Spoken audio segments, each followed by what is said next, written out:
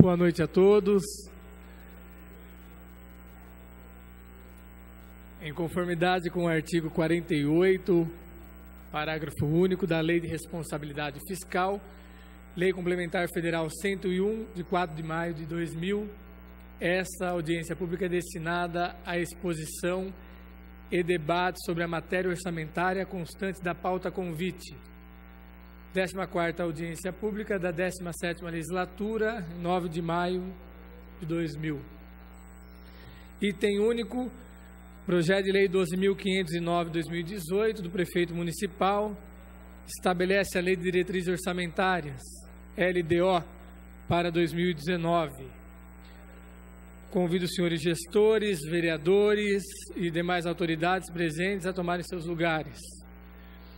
O item apresentado será objeto exclusivo do debate. De início, fará uso da palavra o ilustríssimo senhor José Antônio Parimoski, gestor de governo e finanças. Durante a explanação da matéria, cidadãos interessados em manifestar-se deverão inscrever-se junto aos funcionários Samuel e Érica. Se identifique, por favor, levantando as mãos.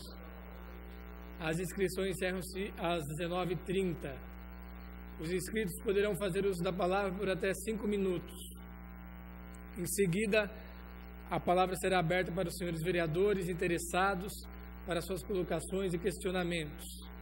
Ao final, novamente a palavra será dada ao senhor José Antônio Parimoski, gestor de governo e finanças, que responderá às questões apresentadas e fará as suas considerações finais. Quero aqui registrar a presença do Eduardo José da Silva Alvarez, gestor de agronegócio, abastecimento e turismo. Senhora Gabriela Ribas, chefe do PROCON. Tiago Teixeira, gestor de promoção da saúde. Nádia Tafarelo Soares, gestora de assistência e desenvolvimento social representando a gestora de administração e gestão de pessoas, Simone de Oliveira, Rosimeire Simeonato, gestora adjunta de gestão de pessoas. Nossa gestora de educação, Vassi Ferrari Marques. Representando ao Mauri Marquese de Luca, diretor-presidente da Companhia de Informática de Jundiaí Sijum, José Luiz, diretor administrativo financeiro representando o professor Dr. Edmir Américo, diretor da Faculdade de Medicina de Jundiaí, Marcelo, assistente técnico de gestão, representando a superintendente da Fundação Municipal de Televisão Educativa de Jundiaí, Mônica Gropelo, Hilário Pereira, diretor de Teleeducação.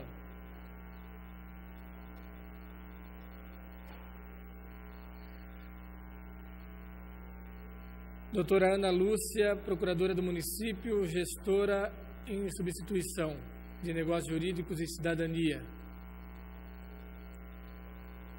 Solange Aparecida Marques, superintendente da FUMAS. Quero aqui registrar a presença do vereador Grapeia, vereador Rafael Antonucci, Cícero da Saúde, vereador Douglas Medeiros, Márcio Pentecostes, Dr. Wagner Ligabó, Valdeci Vilar Mateus, vereador Romildo Antônio, vereador Antônio Carlos Albino. Sempre elegante, né, vereador? Tem a palavra gestor José Antônio Parimoschi. Boa noite, seja bem-vindo a esta casa. Presidente Gustavo Martinelli, uma honra estar aqui novamente nessa casa participando de mais uma audiência pública. Senhores eh, vereadores, ah, aqui os meus colegas gestores, os uh, gestores municipais, assessores, diretores, enfim, o quadro do executivo aqui presente para apoiar e participar da audiência pública da LDO 2019. agradeço a presença de todos. Enfim, as pessoas, uh, imprensa e outras pessoas que eventualmente estejam aqui nos assistindo. Importante, né, presidente, também eh, nos dirigirmos às pessoas que preferem acompanhar pela internet, né, uma vez que está sendo transmitido aqui ao vivo a sessão. Eu vou pedir licença, presidente, para apresentar ali do púlpito, que fica mais fácil em razão do, do telão aqui. Tá?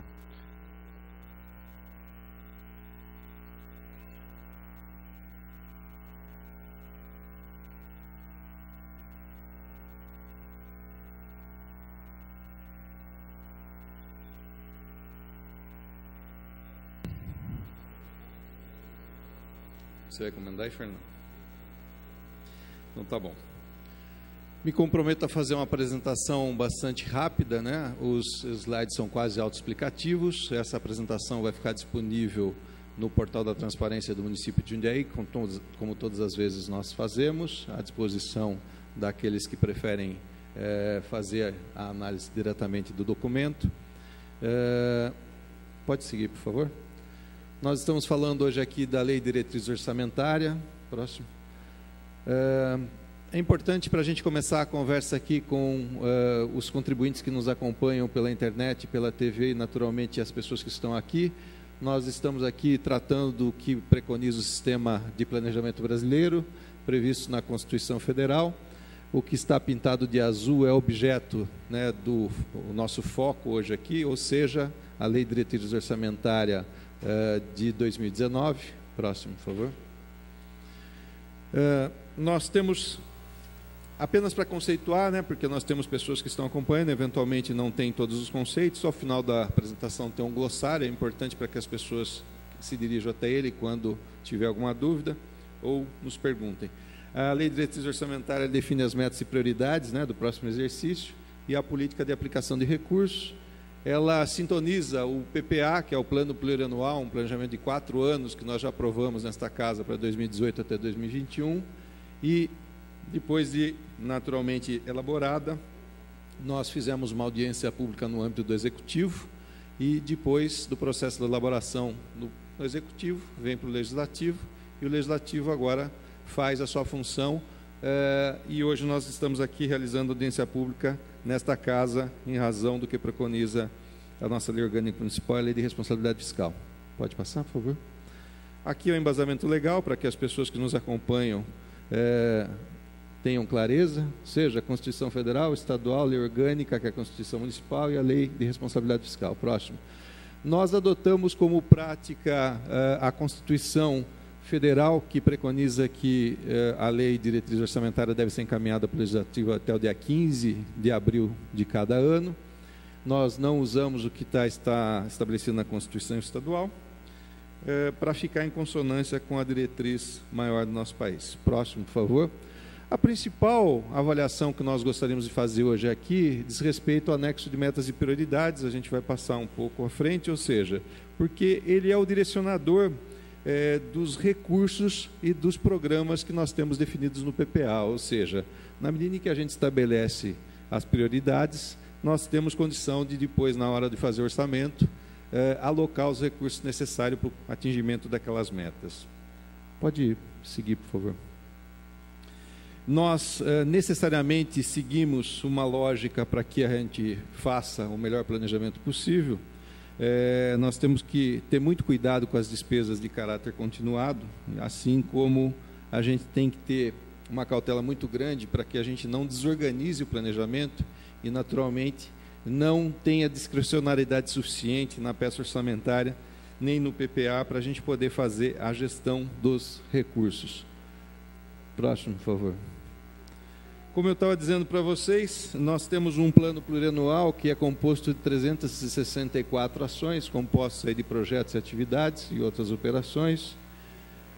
Nós temos uma parcela é, de, de ações que não são aplicadas metas, né? não tem indicadores de produto, porque elas são despesas que têm caráter obrigatório essencial, daí a razão delas não terem metas, porém 195 ações têm metas definidas para 2019. Próximo.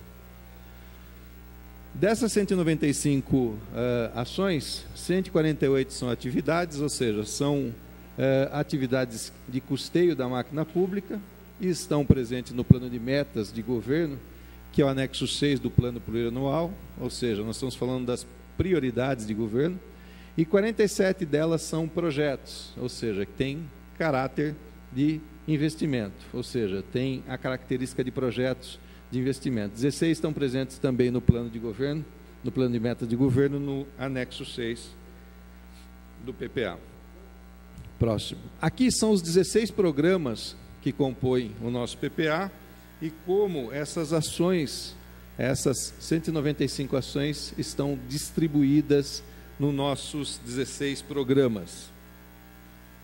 Próximo.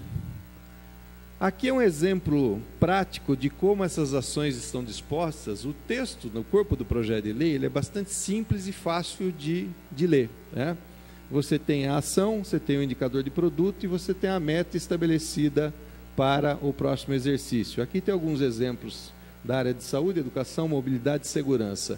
Essencialmente, o que nós fazemos, é, principalmente nessas nas políticas públicas que têm programas de natureza continuada, como é o caso da saúde, você cuida para que não haja nenhum tipo de desassistência e atendimento ao cidadão, ao usuário dos serviços eh, de saúde. E, essencialmente, você dá os primeiros cuidados né, e você atribui uma hierarquia nos gastos para aquilo que é absolutamente é, que não pode ter solução de continuidade, ou seja, que não pode ter qualquer tipo de interrupção ou paralisação, porque você gera o desabastecimento, por exemplo, entrega de medicamentos. Né? Os cuidados, por exemplo, na área da atenção hospitalar. Né?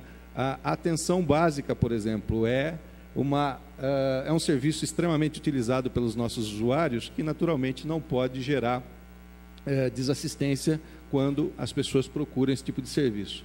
Então, essas ações elas têm prioridade no processo de elaboração e, naturalmente, elas se destacam eh, como as principais atividades que são realizadas pelo Poder Executivo. Tem aqui um exemplo de transporte adaptado para pessoas com deficiência, por exemplo, eh, a meta de 30 mil para 2018 e 30 mil para 2019, acesso a vagas de educação infantil, 3.411 vagas em 2018, e 3.911 vagas em 2019, ou seja, nós estamos aqui propondo um crescimento de 500 vagas ao ano para a educação infantil, aqui nós estamos falando de vaga de creche, né, para crianças de 4 meses até 3 anos, promoções de ações de essência farmacêutica, eu acabei até usando aqui como exemplo, não vi que estava aqui na lista, enfim, tem uma dispensação em unidades, em 2019, 990 mil, contra 900 mil prevista para 2018. Operacionalização do sistema de vídeo monitoramento, que tem a ver com a segurança da cidade, ou seja, um equipamento é, que é um serviço contratado, que são câmeras instaladas. A previsão é que nós tenhamos em 2018 263 câmeras e a partir de 2019 a gente incorpore mais 40 câmeras nesse sistema de vídeo monitoramento. Nutrição escolar, ou seja, quantidade de alunos atendidos, é, 59 2018, 60.504 em 2019, promoção de ações de unidade de atenção, ou seja, consultas realizadas, também usei como exemplo aqui, não vi que estava na última, uh, na, no final da tabela, 484 mil em 2019, 475 em 2017, 2018. Próximo. Da mesma forma que são os projetos, ou seja, tem previsão de construção e ampliação é, de creches, né? Centro de Controle Operacional é, do, e Monitoramento do Tráfego, que está incorporado junto com o sistema de câmeras de segurança, os corredores estruturantes com segregação inteligente, que é o programa de implantação é, de corredores inteligentes pela cidade para facilitar e agilizar é, o transporte público. Essencialmente, nós estamos falando aqui também de corredores que serão utilizados no BRT. Expansão da rede de pontos de iluminação pública, ou seja, todos os anos a gente tem uma expansão em torno de 600 pontos de iluminação pública, hoje são 42 mil pontos. Reforma do ambulatório de moléstias infecciosas, que está na programação também da prioridade para o próximo exercício. Pode passar, por favor. Enfim, nós temos, como foi dito, 364 ações previstas na LDO, das quais 195 é, são prioridades e constam do anexo 6 do PPA e são as principais ações que o governo pretende trabalhar nesse período 2018 até 2021. Lembrando aos senhores, a determinação do prefeito Luiz Fernando é sempre focada na questão de melhoria das condições de atendimento à saúde. É, essencialmente, usar os recursos de maneira mais eficiente, de maneira com que a gente consiga atender é, mais objetivamente as ações focadas na atenção básica, porque hoje uma boa parcela dos recursos que estão alocados na saúde, eles são de caráter reparatório, ou seja, eles vão para a área terciária, para a hospitalar. E isso naturalmente faz com que a gente tenha não um desperdício do dinheiro, mas a gente tenha, na verdade, uma continuação de despesas que ela cresce ano após ano. A inflação da saúde, por exemplo, não, acompanha a inflação da cesta básica. Enquanto a gente tem uma inflação anual em torno de 2, 2,5%, 3%, a inflação da saúde chega perto de 20%. E, na verdade, os custos com tecnologia, com mão de obra, com hora extra, com um corpo de profissionais especializados para tocar um hospital terciário do Porte do São Vicente, por exemplo, de alta complexidade, que atende urgência e emergência e, e atende a toda a região, ou seja, é um desafio imenso, mas é um financiamento extremamente significativo que você tem que destinar em contrapartida a uma necessidade cada vez mais importante que nós temos que dar atenção para fortalecer a prevenção a doenças. E, naturalmente, a programação desse governo vai na linha de estimular com que a cada ano a gente consiga melhorar as ações relacionadas à prevenção das doenças. Né? Nós temos que revitalizar algumas das UBSs, melhorar a ambiência, melhorar a gestão, humanizar o atendimento, melhorar a qualidade do serviço que lá é prestado. Naturalmente, isso é muito importante, principalmente para os usuários é, contumazes do serviço municipal, e naturalmente fazer os, é, a evolução desses serviços, né? cuidar para que os serviços evoluam, melhorem a cada dia. A melhora sistemática dos serviços é importantíssimo, muitas vezes mais importante do que abrir um novo equipamento. É, em relação à abertura de um novo equipamento, já que eu estou colocando aqui, nós temos a previsão nesse ano de abrir a, a nova UPA, né, junto com uma clínica da família, que é um modelo de gestão muito mais resolutivo, né, e que naturalmente eu acho que revoluciona um pouco esse conceito que nós estamos falando aqui, medicina preventiva versus a medicina reparatória. Ele é um conjunto de serviços voltados para a saúde que vai desde a estratégia de saúde da família, atenção básica e a urgência e emergência.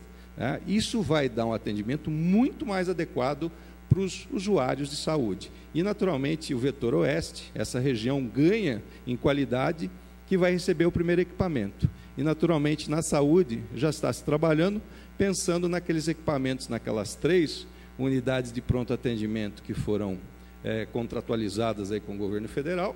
O novo ministro da Saúde já sinaliza que esses equipamentos não têm financiamento suficiente para suportá-los, eles custam caro, a estimativa desta UPA que nós vamos abrir é, custa alguma coisa em torno de 18 milhões de reais por ano.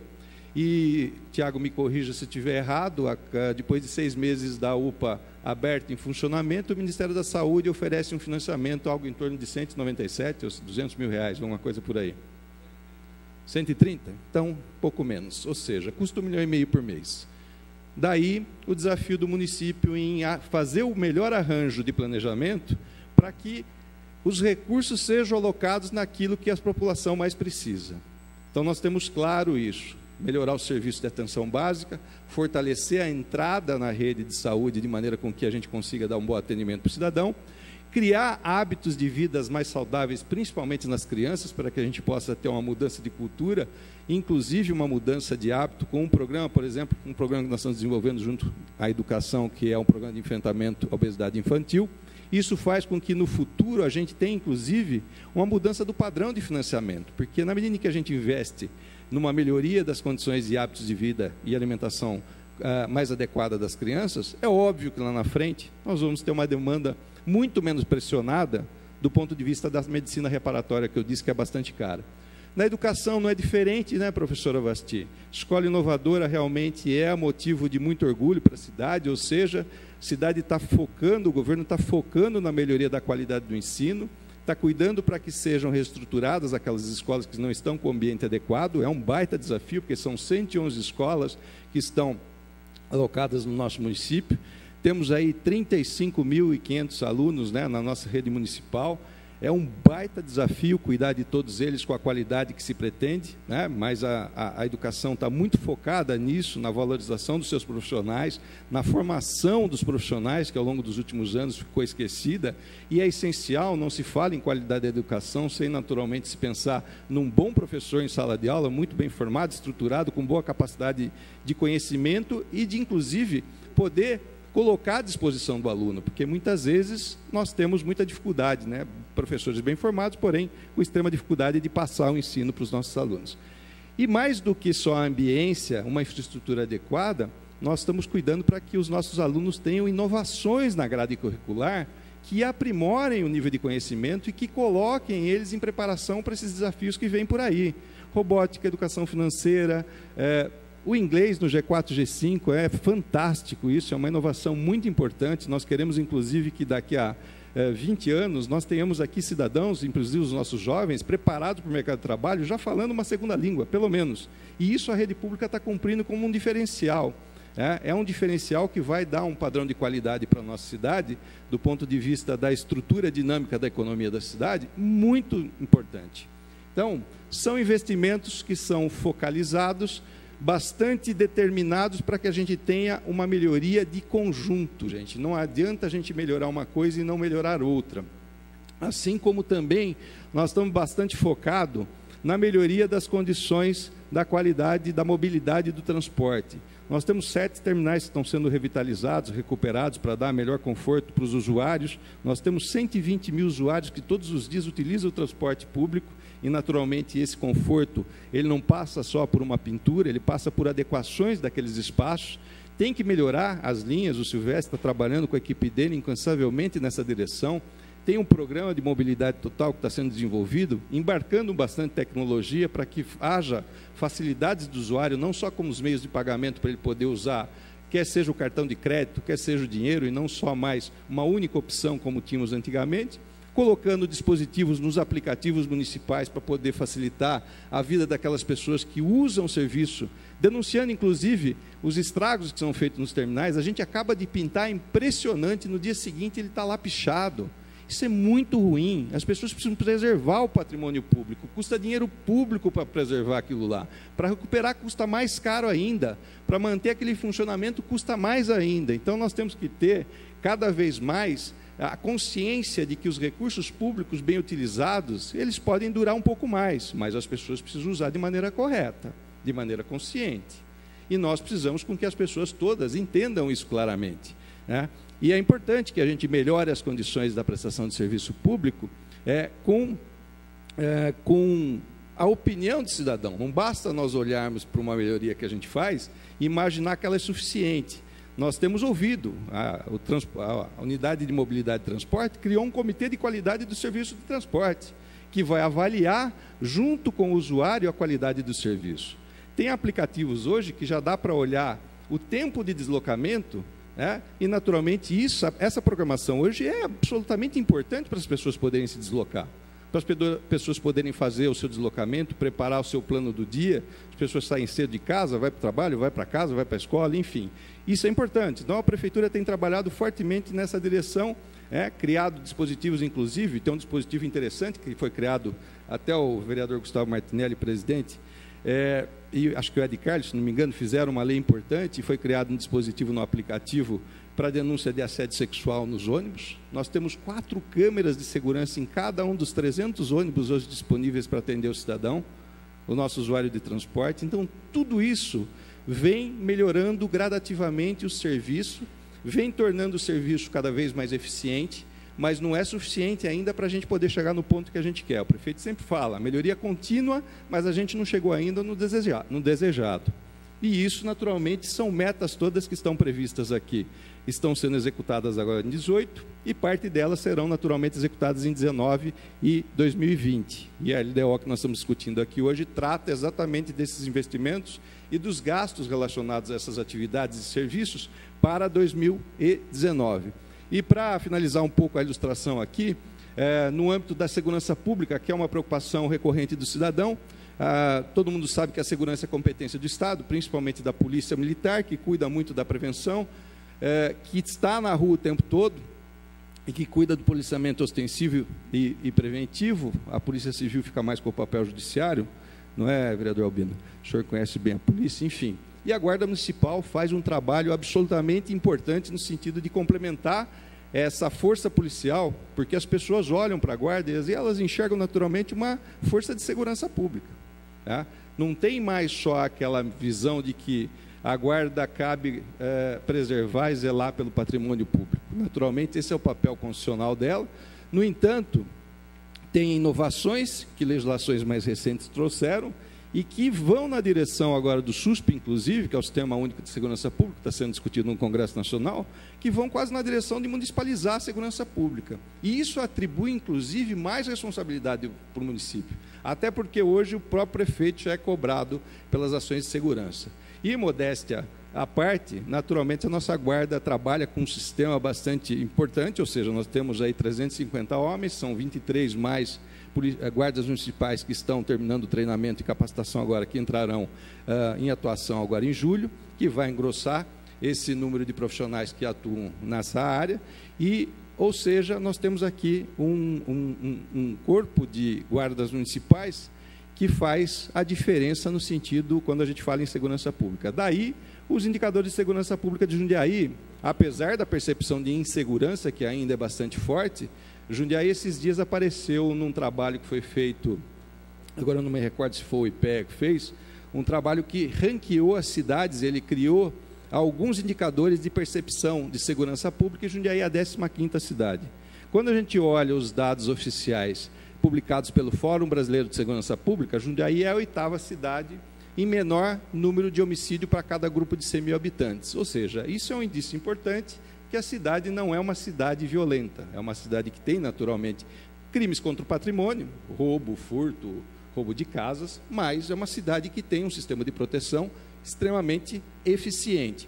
E o sistema de monitoramento que a Guarda tem e que, inclusive, ajuda a melhorar a inteligência da operação de segurança pública, o nosso plano, naturalmente, vocês viram ali, é incrementá-lo, é tornar o sistema maior, mais amplo e mais eficiente. E conjugar, inclusive, o sistema de monitoramento com o sistema de trânsito para controle do tráfego. Ou seja, essa estratégia vai ser mais eficiente do ponto de vista do uso dos recursos e, naturalmente, vai melhorar a condição eh, das duas áreas, e duas áreas importantes da nossa cidade.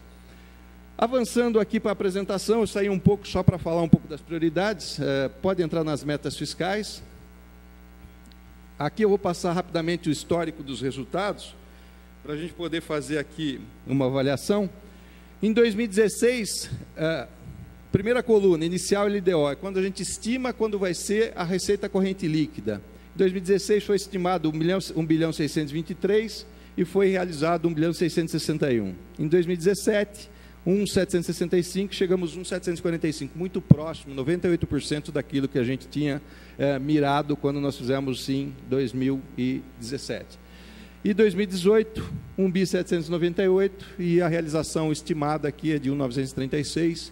É, diante da circunstância econômica que o nosso país uh, volta a ter agora uma percepção de uma estagnação novamente, em razão do processo eleitoral que se avizinha, uh, tem muitos candidatos, ou pré-candidatos, melhor dizendo, isso traz um pouco de insegurança para o mercado, para os agentes econômicos, e isso naturalmente repercute na economia. O nível de atividade econômica, que ao final do exercício, ao final do ano passado, estava um pouco mais otimista, agora ele começa a ficar um pouco mais preocupado e essa repercussão a gente sente. Jundiaí é uma cidade que tem um nível de atividade econômica diante da diversidade econômica que está instalada aqui bastante grande, e na medida em que pulsa a economia, a cidade ela, ela reflete, ela sente. Se pulsa positivamente, ela sente, se paralisa, ela também sente. Aqui a gente tem um momento que foi projetado em abril, que a visão era uma e hoje nós estamos já com algum conservadorismo até na meta de arrecadação do período. Pode passar. Aqui é o gráfico desses números, né? Mostrando a linha verde é o realizado e a linha vermelha é o inicial que eu estava colocando aqui para os senhores. Os senhores podem ver, a, a, tem uma aderência bastante grande das linhas, o que significa que a, o planejamento, a estimativa da receita corrente líquida, ela está bastante compatível com a capacidade, é, é, com o, o ambiente econômico, a capacidade arrecadatória do município. Pode passar. Uh, olhando para a dívida, hoje dívida não é um, um problema naturalmente para o município de Jundiaí. Aqui a gente está falando de dívida consolidada líquida. Esse número naturalmente ele é deduzido dos todos os ativos disponíveis do município, não é o estoque. Mas a gente tem aqui um, um comparado com os demais municípios, uma situação bastante confortável. Né? Pode passar. Pessoal, uh, passa o gráfico para mim, por favor, uh, Tiago, que fica melhor. Senhores, é, tem de 2012 para frente, é, eu tenho esse dado de 2012 para trás, eu já mostrei aqui para os senhores, mas é importante mudar que houve uma mudança de patamar aqui do gasto com o pessoal. E isso, na verdade, quando a gente traceja uma linha De 2012 para trás, a média de gasto com o pessoal era de 33% a 35% da receita corrente líquida. Então, se a gente tracejar uma linha por ali, nós estaríamos numa situação com capacidade de investimento provavelmente muito mais adequada se essa preservação tivesse sido feita. Como nós mudamos de andar, fomos para o patamar dos 45%, em 2015, inclusive, tem um gap de 41%, só que davam pedalada no Instituto de Previdência, por exemplo, né, que diminuía aqui o efeito da aplicação ante a receita corrente líquida. Então, aquela barriguinha ali não é real. No entanto, os 45 são reais. Ou seja, isso demonstra que nós fomos 10 pontos percentuais acima da linha média que nós praticávamos até 2012. Isso significa é, deteriorar completamente a capacidade de investimento do município porque o período em que a despesa com o pessoal cresceu, também cresceu a despesa de custeio do município e, infelizmente, a arrecadação, naquele momento, até em razão da crise, desconsiderando ineficiências do próprio Estado brasileiro e da Prefeitura de Jundiaí, ela estava decadente. Então, enquanto a receita caía, a despesa subia. O que aconteceu? Toda a poupança que o município tinha capacidade de fazer que, que é a poupança? Arrecado sem gasto com o pessoal, pago toda a folha, pago todos os compromissos de pessoal e encargos, pago todos os compromissos para manutenção da máquina pública de custeio e eu tenho uma sobra para amortizar a dívida e ainda para investir na modernização da infraestrutura da cidade. Não temos mais isto, porque essa margem foi comida por essa mudança de patamar. Nós fomos para o patamar dos 45% de gasto com pessoal. E isso é significativo para o município do Porto de Jundiaí, que requer, inclusive, não só a boa manutenção dos vencimentos do servidor público, mas requer também que haja a manutenção e a eficácia da modernização da infraestrutura da cidade. E quando o mercado padece, como padeceu nos últimos anos, os recursos de financiamento desaparecem. Nem recursos de financiamento a gente consegue acessar. Tanto é que os 106 milhões, aqui Jundiaí faz direito, junto ao Ministério da Cidade, aprovado já para implantação do BRT, até hoje não foi liberado. É uma vergonha. O município alterou até o escopo do objeto da lei, atendendo à determinação do Ministério da Cidade e da Caixa. E até hoje nós estamos aqui aguardando a liberação para fazer as intervenções, os corredores segregados que vocês viram aqui, Silvestre, estão previstos lá. As ah, diversas intervenções, já são 21 ou 22 intervenções que estão previstas lá, já podiam estar acontecendo. E enquanto isso, nós estamos esperando aquele que deu falência ao Estado brasileiro, que conseguiu inoperar a máquina federal, que conseguiu travar os recursos que estavam lá apropriados para os investimentos no município. Nós aqui esperamos o dia que as coisas melhorarem. Então, é assim que funciona o nosso país. E aí o gestor que está sentado aqui, olha para lá e ao invés de olhar para isso, para esse cenário real, vai lá e pisa no acelerador e aumenta o gasto. Olha que maravilha. Combinação perfeita. Fez o X. Receita caindo e despesa subindo. Quando faz o X, é fatal. Graças a Deus, nós já fizemos um primeiro ano de ajuste fiscal Saímos da situação precária em que estavam as finanças públicas, estamos concluindo em 2018, agora com toda dificuldade, o processo de ajuste fiscal e a partir de 2019 a gente começa a fazer a gestão da recuperação da capacidade de investimento do município, que vai ser muito lenta e gradual. Mas nós vamos fazer, porque é assim que se administra de maneira responsável. Pode passar, por favor. Aqui são, é o resultado primário e resultado nominal, né? uma diferença básica. Em 2016, vocês podem ver o resultado primário não é superavitário, é um déficit. Em 2017, retomamos a normalidade. Superávit para honrar os compromissos assumidos e tornar o orçamento absolutamente equilibrado. Só gastamos aquilo que a gente arrecada, com isso a gente consegue fazer superávit primário, honrar os compromissos e ainda ter resultado primário, é, resultado nominal. Pode seguir, por favor. Acho que é 2019 aqui, né? Pode seguir. Os parâmetros que foram utilizados na elaboração da, da lei de diretriz orçamentária, vou descontar, viu, Paulo? É, errou a data, vai ter um desconto. É assim que funciona lá. A lei de diretriz orçamentária, então, usou parâmetros IPCA 4%, é um pouco menor hoje, mas quando nós estávamos elaborando, é, nós trabalhamos com essa perspectiva. E a gente avalia cada uma das rubricas é, que compõem a arrecadação do município para ver qual é o crescimento médio, porque não adianta você dizer só que você vai aplicar o crescimento do PIB em, no conjunto de receitas e isso está resolvido. Na verdade, a gente faz uma avaliação extremamente criteriosa para que a gente tenha o crescimento da receita baseado naquilo que é a realidade de cada um dos itens da arrecadação. E a gente, naturalmente, também se pauta muito pela avaliação do comportamento da despesa para que a gente consiga fazer é, as receitas de maneira também, é, não só as receitas de maneira efetiva, mas também ter despesas alocadas com suficiência para atender às demandas orçamentárias. Próximo. Então, nós teremos, é, devemos ter em 2019 um orçamento, uma receita estimada de 2 bilhões 328 milhões. Só para um comparativo, o orçamento desse ano é 2 bilhões 260 milhões. É, nós estamos falando de um, uma receita 3% maior do que 2018. Pode seguir? Aqui são, aqui é a receita aberta, né? por categoria econômica, pode pular no gráfico depois, fica mais fácil para visualizar. Aqui a mesma coisa, ou seja, nós temos os principais uh, uh, itens da arrecadação. Pode pular, por favor. Só volta um pouquinho, só vou destacar aqui. Veja os senhores, o ICMS responde por cerca de 33% do total da receita corrente líquida do município.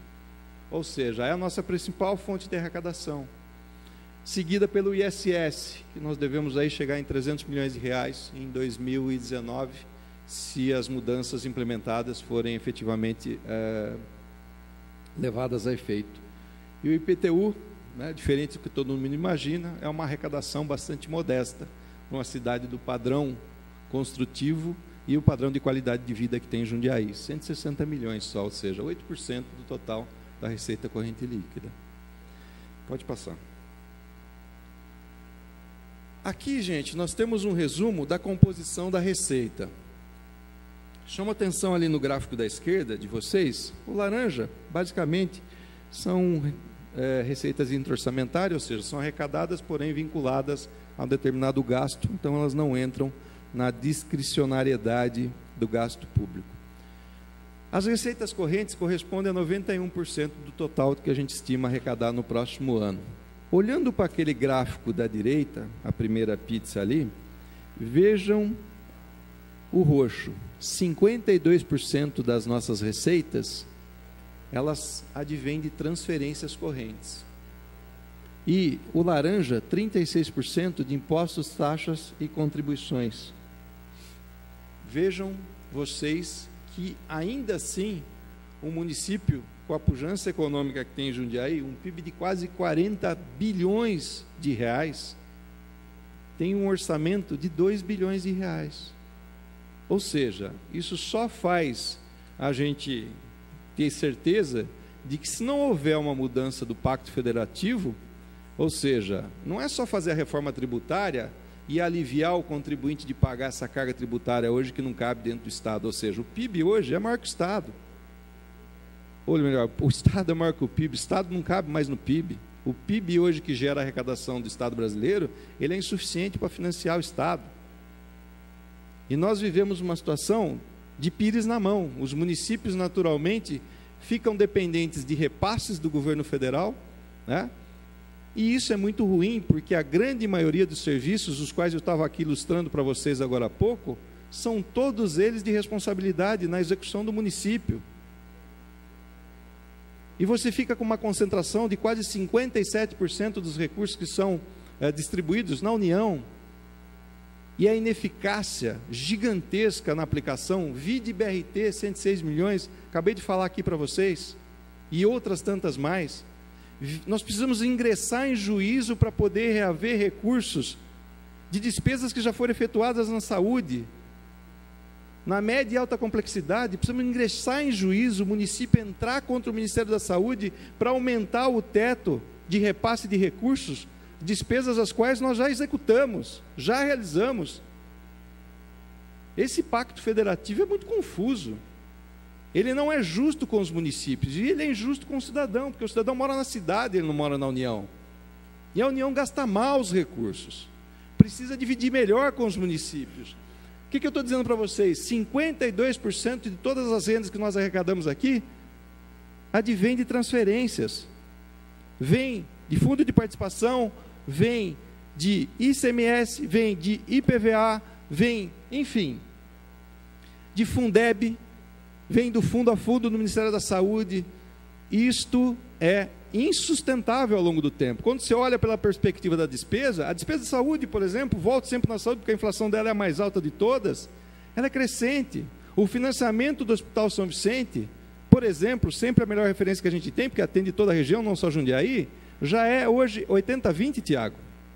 Na média. Há 15 anos atrás, era o contrário. A União financiava 80 e o município 20. Hoje o município paga 80 e a União 20, e caindo.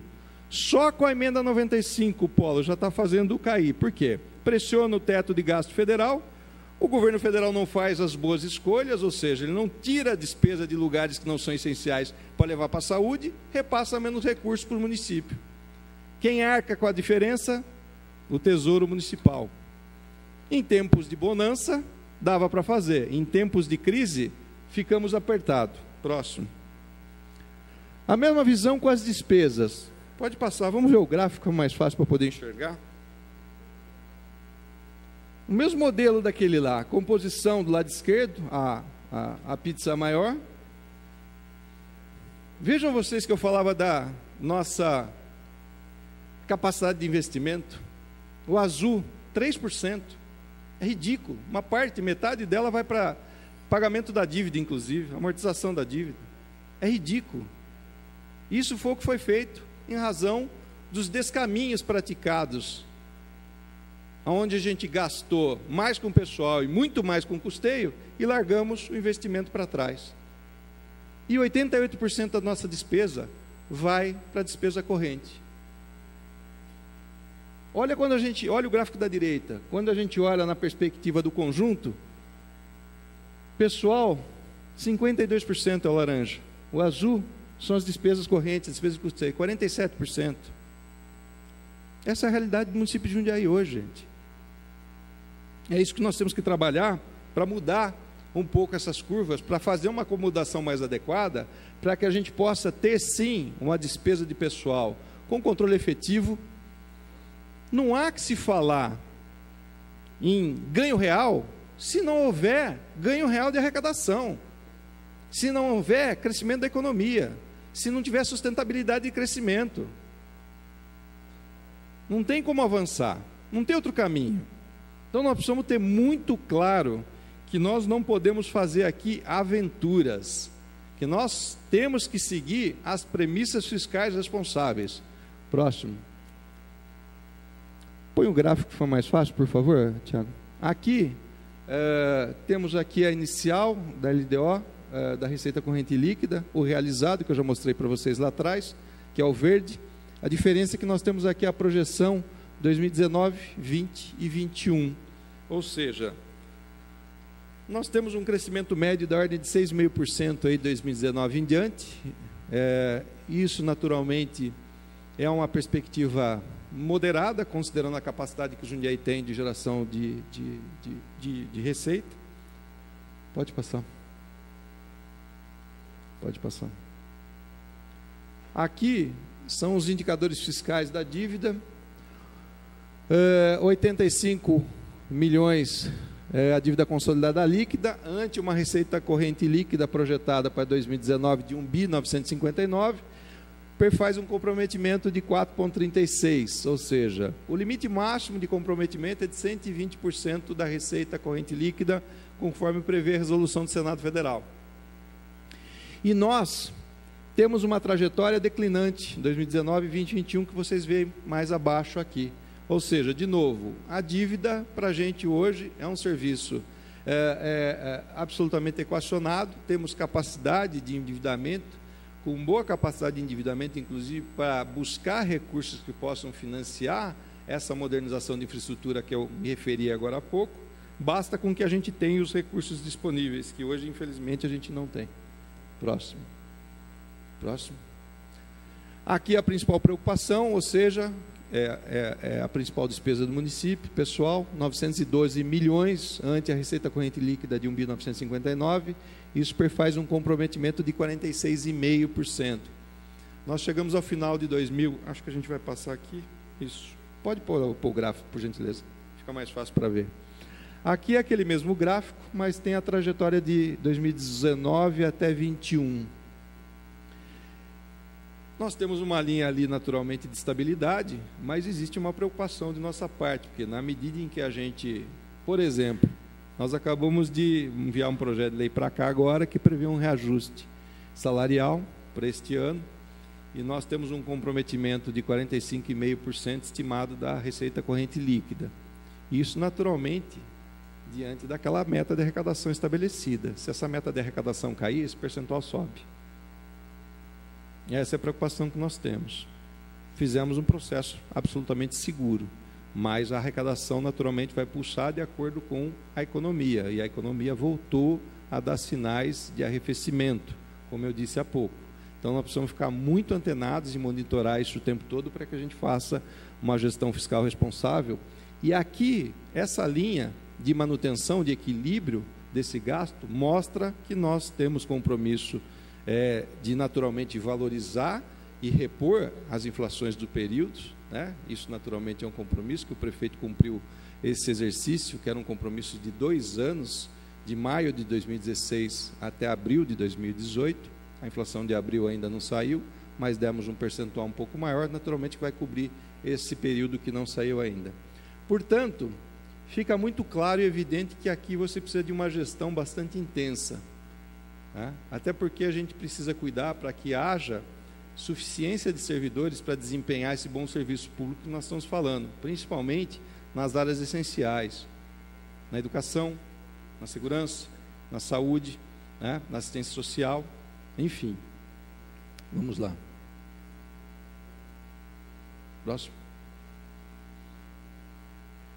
Resultado nominal, ou seja, uma projeção, é até covardia ficar falando desses números, porque é, eles dependem naturalmente da conjuntura dos próximos exercícios, porém, isso só demonstra que a gente tem segurança das nossas projeções. Pode passar. O resultado primário, ou seja, nós trabalha, trabalhamos com a expectativa de, de um orçamento é, extremamente equilibrado, com suficiência de geração de superávit primário, para a gente poder honrar todos os compromissos é, segurança para os nossos é, credores, segurança também para os nossos fornecedores, que é uma gestão fiscal eficiente e ela responde àquilo que é, é o anseio do servidor, que é receber em dia, ao anseio do fornecedor, que é vender para o município e receber no prazo, na data prazada, e naturalmente os recursos alocados se transformarem nos benefícios à população, que é o que todo mundo espera. Próximo. É isso. Eh, esse é um resumo, naturalmente bastante rápido, daquilo que eh, é a Lei de Diretriz Orçamentária, o próximo exercício, um retrato da situação do município, algumas percepções com relação ao desempenho da economia que vão impactar na arrecadação e que naturalmente impõem alguma restrição para a gente poder é, com, se comportar com as despesas, ou seja, nós não podemos soltar as despesas, as despesas têm que ser controladas é, com extrema austeridade, né? para a gente poder, inclusive, retomar a capacidade de poupança e geração de recursos para poder investir na melhoria e modernização da cidade. Presidente, essas eram as considerações iniciais. Passo a partir de agora a ficar à disposição de todos os senhores e daqueles que quiserem fazer perguntas, assim como também eh, os meus colegas gestores e representantes aqui presentes. Agradeço os esclarecimentos. Gostaria de registrar a presença também do José Galvão Braga Campos, o Tico, a Mônica Gropelo, superintendente da Fundação Municipal e Televisão Educativa de Jundiaí, o Marcelo Peroni, gestor de cultura, Silvestre Eduardo Rocha Ribeiro, gestor de mobilidade e transporte, o Adilson Rosa, o gestor de infraestrutura e serviços públicos, Luiz Antônio Trentini, gestor de esporte e lazer, e o Dr. Paulo Sérgio Giacomelli, gestor de segurança municipal. Gostaria de informar também que não há ninguém inscrito para as perguntas, então eu passo as palavras aos vereadores que, que gostariam de, de fazer alguma pergunta. Primeiro, o doutor Wagner Ligabó tem a palavra.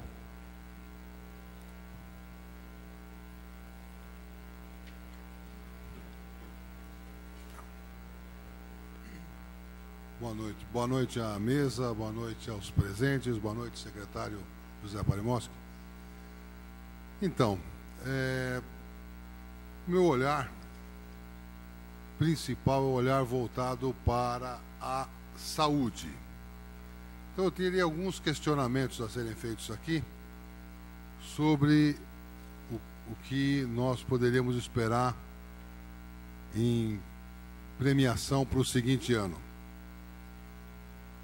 Vendo o, o que foi enviado, o item que fala sobre a cidade inteligente, que nada mais é do que a conclusão da implantação na área da saúde do prontuário eletrônico em todas as unidades básicas de saúde, que poderia gerar um, gerar uma, uma economia razoável, eu diria, está com prioridade prevista para o ano próximo, 2019.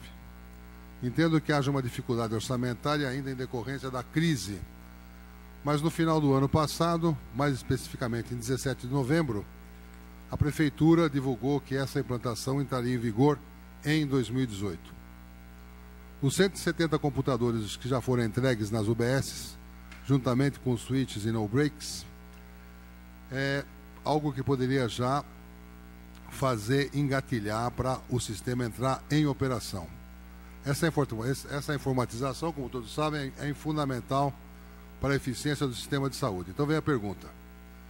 Então, o que falta para a conclusão seja o mais breve possível está nas metas que será em 2019, mas podemos esperar algo para o primeiro semestre de 2019 ainda?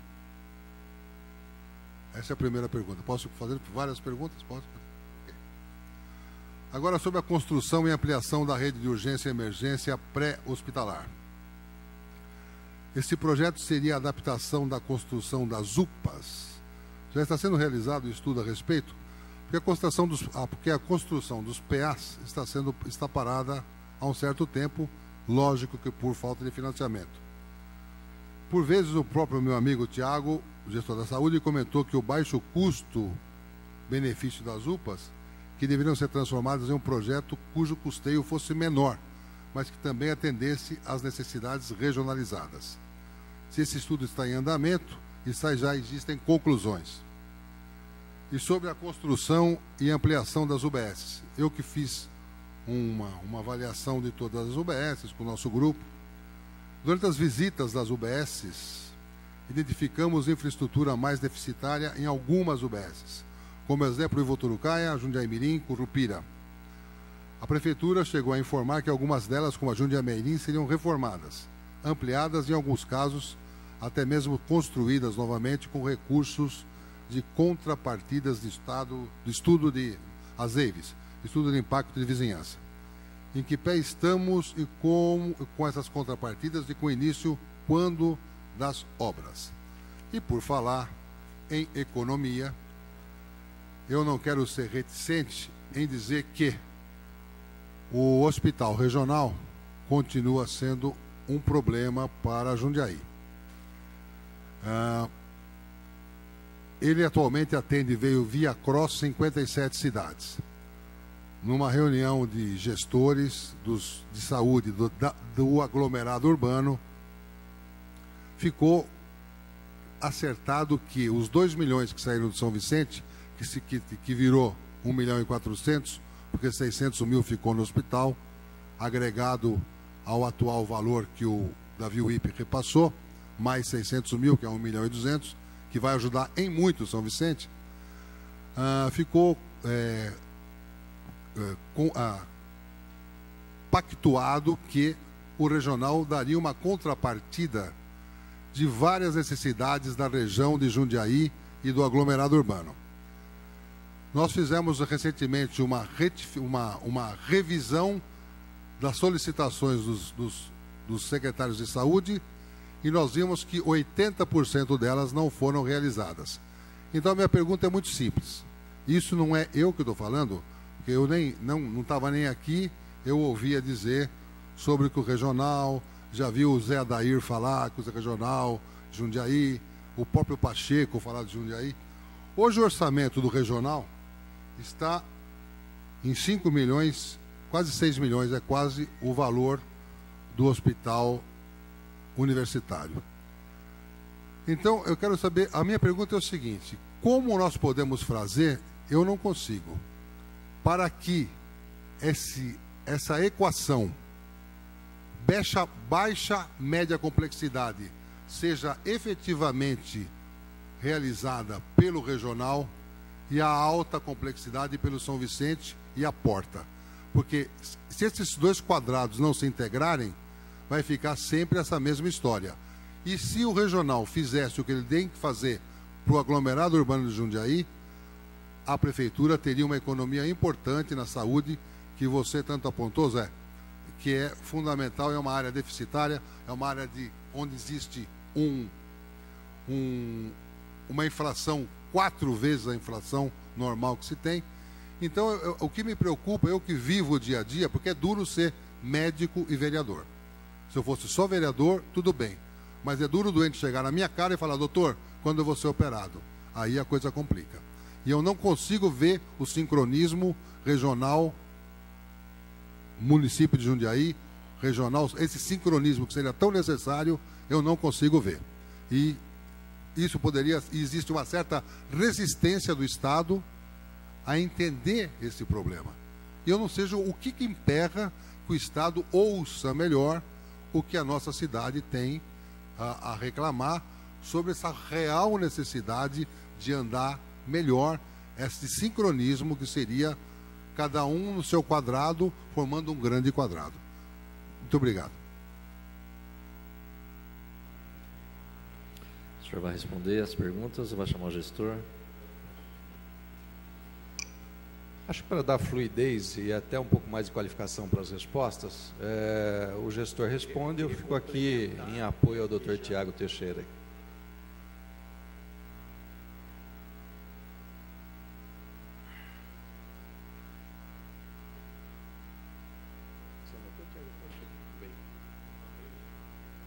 Está aqui? Ah.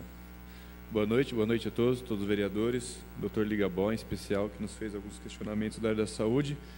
Vamos por partes, né? Prontuário eletrônico, muito pertinente essa pergunta. Nós estamos sim já a todo vapor a implantação da modernização da rede é, de saúde de Jundiaí, né, com, inclusive com a implantação do prontuário eletrônico, ele já está em teste em três unidades básicas de saúde nossa. Então, são três frentes de trabalho. O projeto de informatização da rede municipal de saúde. Primeira frente de trabalho, aquisição de hardwares, né, equipamentos, né, computadores, no-breaks, suítes, impressoras. Nós já compramos 170 computadores, além de no-breaks, suítes, impressoras. Estaremos comprando agora no segundo semestre mais 130 computadores totalizando mais de 300 computadores, um investimento total só no ano de 2018 em 1 milhão e 50 mil reais só em equipamentos. E da onde vem esse recurso? Que acho que é muito pertinente também apresentação do Parimós, que a, a prefeitura tem muito baixo grau de investimento. Né? Então, ele não vem de recurso do tesouro da unidade de gestão da promoção de saúde. Nós não estamos tirando aquele recurso que vem para financiar consultas, exames médicos. Nós vamos buscar esses recursos através de bons projetos com o governo federal e através de emendas parlamentares também. Então, nós vamos buscar esses recursos. Então, esse 1 milhão e 50 mil reais aplicados integralmente no ano de 2018 com equipamentos, vem todos de recursos federais que nós vamos buscar através de projetos. Tá? Isso falando da parte de hardwares. A parte da internet de fibra ótica. Nós temos uma grande estru, um grande projeto da Prefeitura de Jundiaí, agora no ano de 2018 também, que no segundo semestre todos os equipamentos do município de Jundiaí, em especial da área da saúde, vai começar pela saúde, terão internet de fibra ótica. Então todas as unidades de saúde terão internet de fibra ótica. E por que precisa ter uma internet com essa potência? Para a gente poder suportar o sistema de gestão integrado, que é o que vai abarcar também o prontuário eletrônico. Então essas três frentes de trabalho, nós demos como prazo, e o senhor está correto, senhor Ligabó, que até dezembro de 2018 nós estaremos entregando todos os computadores, metade já foi adquirido, toda a parte de equipamento, a internet de ultra velocidade em todos os serviços de saúde e também já começando a utilizar o prontuário eletrônico ainda em 2018, já está em teste.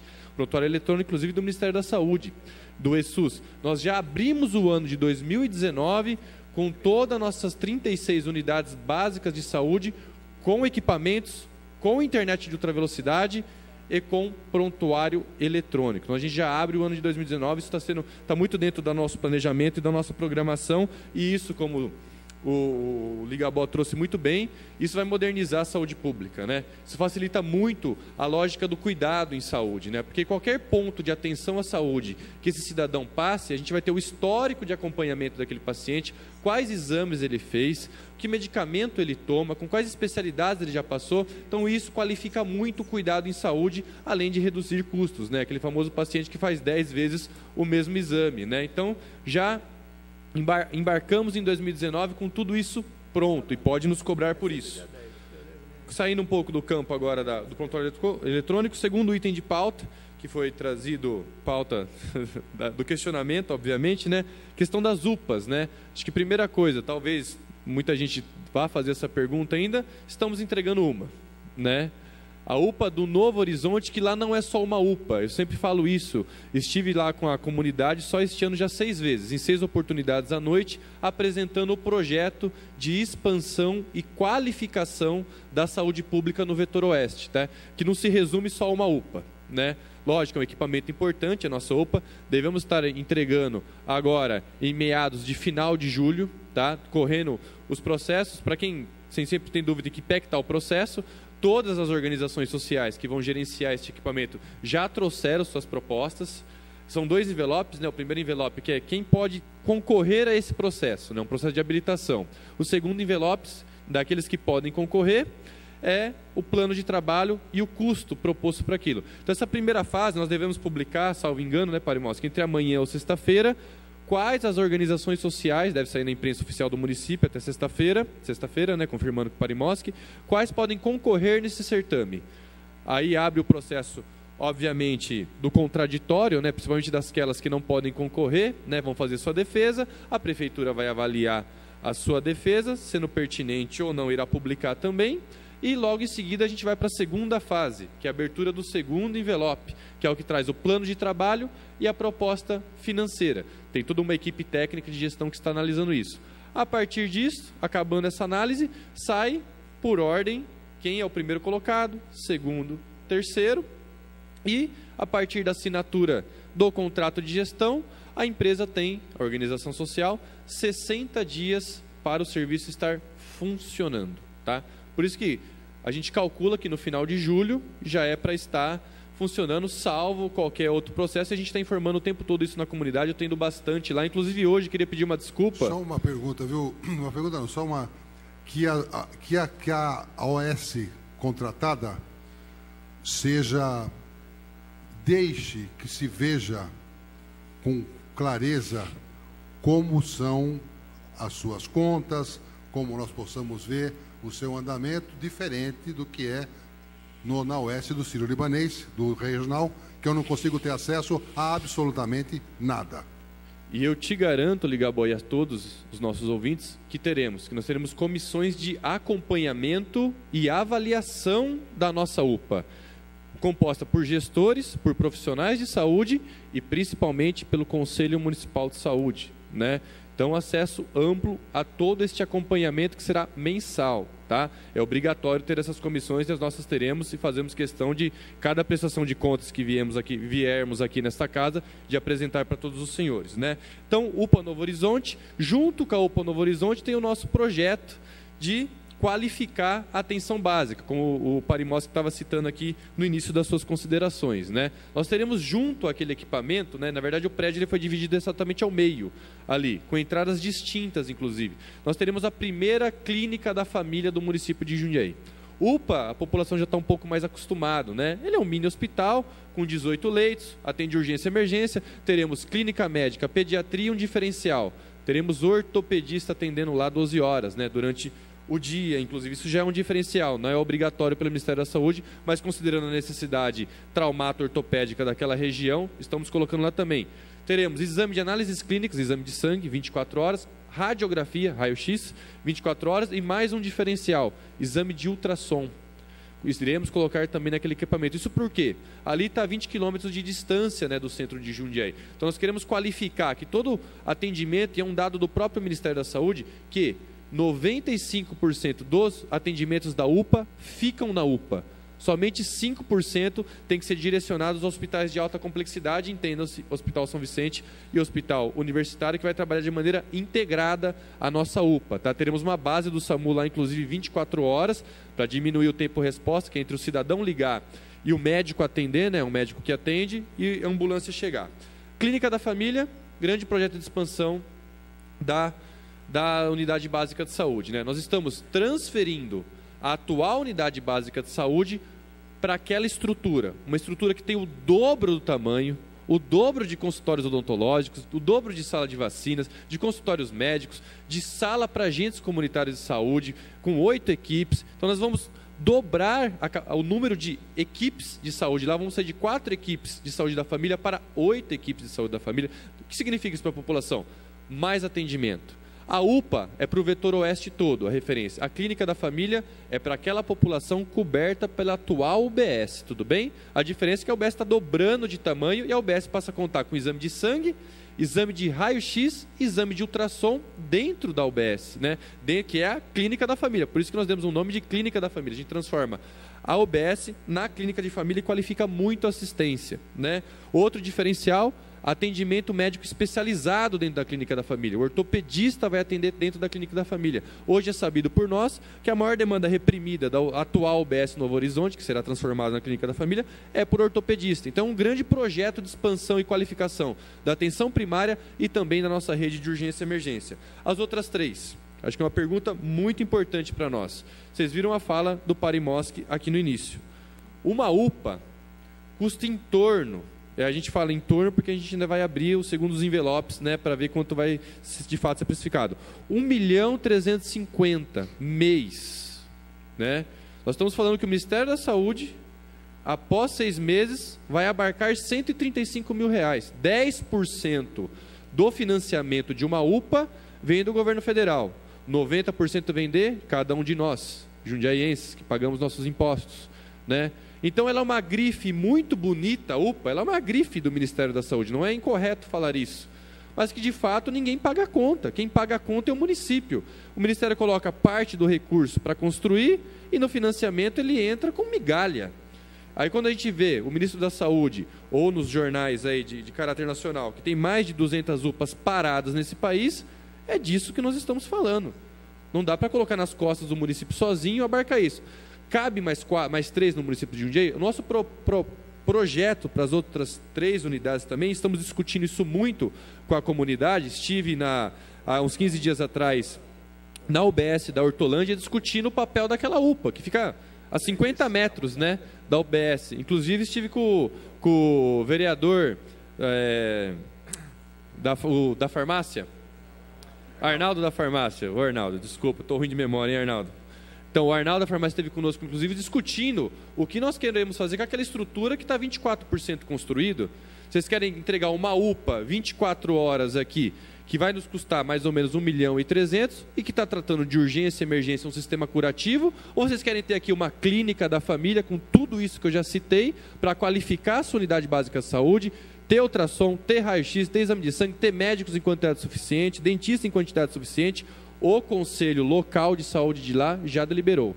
Nós queremos sim que tenha a transferência do pronto atendimento, que hoje está numa casa um pouco acima do bairro da Hortolândia, e não é de fato a melhor estrutura para aquele atendimento. Estive lá visitando só este ano por duas vezes, não é a melhor estrutura, uma casa locada.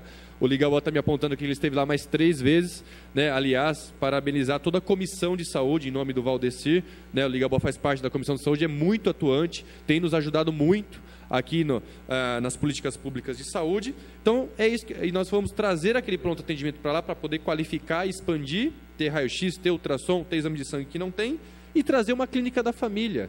Acho que este é o caminho, gente, é tratar na prevenção, né, e, e garantir equipe suficiente para atendimento à população para evitar que 62% do orçamento da pasta da saúde vá só para um sistema curativo que, der, que deve aportar de fato, você trabalha em hospital, você sabe muito disso, a porta do hospital, se você olhar lá, 10% deveria estar passando ali.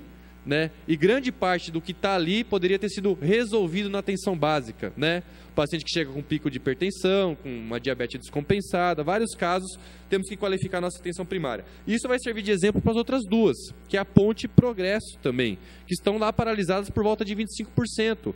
Essas duas, acho que cabe também ressaltar, diferente da Hortolândia, que nós estamos já Inclusive, foi uma pergunta muito pertinente. Nós estamos revendo todo o projeto arquitetônico já da UPA da Hortolândia para poder abarcar dois serviços, um de qualificação da atenção primária e um da rede de urgência e emergência. As outras duas, a da ponte do progresso, nós temos um problema de fato é, deixado já pela gestão anterior, né? Porque muitas vezes as pessoas nos acusam que foi foi, foi, foi, pra, foi diagnosticado nessa gestão, as obras já haviam sido paralisadas, porque tem um, um, erro nessas obras que está sendo contratada uma equipe especializada pela Prefeitura de Jundiaí para verificar se é um erro de projeto ou um erro na construção. Então essas obras não podem dar seguimento até que essa empresa especializada emita esse laudo para nós. Só após isso será revisto o projeto e um projeto também para ampliar e qualificar a atenção primária e rede de urgência e emergência. Né? Por que entregar um se podemos entregar dois e qualificar muito a nossa atenção primária, nossas unidades básicas de saúde? Então o projeto da Hortolândia já está sendo revisto, sendo revisto inclusive com a comunidade, com o Conselho Gestor Local da UBS Hortolândia. Ampliação das UBSs é, este ano nós estamos entregando quatro reformas, tá? O BS Maringá, nosso presidente da Câmara, inclusive, que está muito em cima, né, senhor Gustavo Martinelli, tem nos cobrado diariamente, né, e acho que a população também da Maringá que estiver nos assistindo ou estiver aqui presente, estamos entregando agora em junho uma OBS totalmente reformada, com pleito muito antigo já da comunidade, que é com consultório odontológico. Estamos entregando já o OBS totalmente reformado, com o dentista no período que a UBS estiver aberto. Além de trocar todo o mobiliário planejado, será uma nova UBS de fato. Tá? Então a gente pede só um pouquinho mais de paciência, mas está caminhando é, e entregaremos para essa comunidade um novo serviço com toda a qualidade e com mais profissionais de saúde também. Tulipas, também agora no segundo semestre estaremos entregando a reforma dela. O BS Comercial, que é bem próximo da Maringá, também estaremos entregando agora no segundo semestre, início do segundo semestre. E o BS Currupira, que além de estarmos reformando, estamos colocando um prédio anexo a ela, que terá também o consultório odontológico integrado. Ou seja, das 36 unidades básicas de saúde do município de Jundiaí, este ano nós já teremos 32 unidades com consultório odontológico integrado vão faltar só quatro unidades básicas de saúde para a gente entregar. E dessas quatro, já quero falar que duas que são novas do BS, que a gente vai substituir ao BS anterior, que é do Jardim, é, Jardim Mirim, Jundiaí Mirim. Nós faremos uma nova unidade de saúde lá. Aquela unidade o senhor também foi visitar, Ligabó. Tanto é que eu tenho o seu documento em mãos, eu também já fui. Né? É, ela não tem inclusive estrutura para um cadeirante poder utilizar a unidade básica de saúde, que tem escada na unidade, é um prédio locado. Estaremos construindo uma UBS do zero e a UBS do Jardim do Lago também, que será entregue, né?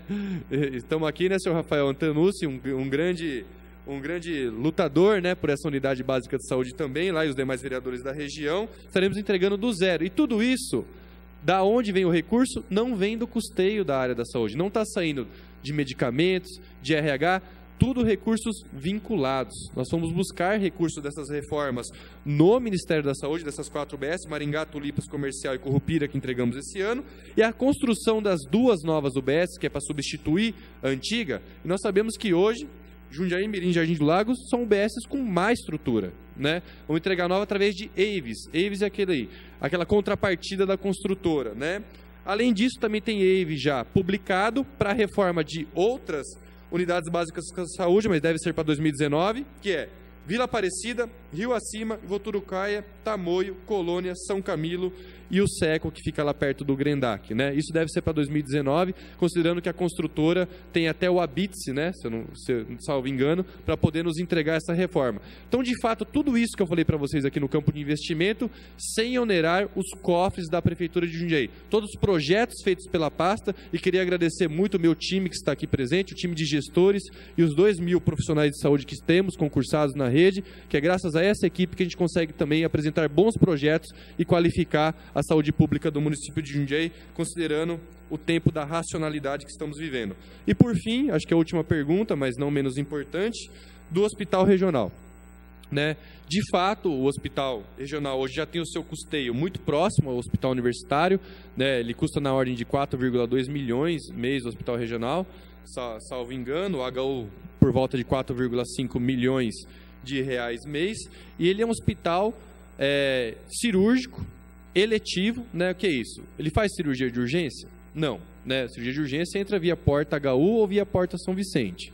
Então, eletivo é aqueles casos que, de fato, o cidadão pode aguardar em casa. Existe sim uma necessidade para esse tipo de cirurgia em Jundiaí e na região de saúde de Jundiaí também, que fique muito claro, né? E também nós temos um, um, um grande projeto regional, porque nós também não estamos na inércia, viu, Ligabol? Você tem acompanhado isso muito de perto. Né? Nós temos projeto da região de saúde de Jundiaí, os sete secretários de saúde, como um projeto de expansão do hospital regional, mas de expansão para o interesse da região de saúde de Jundiaí e de Bragança, né, que é da RAS 16.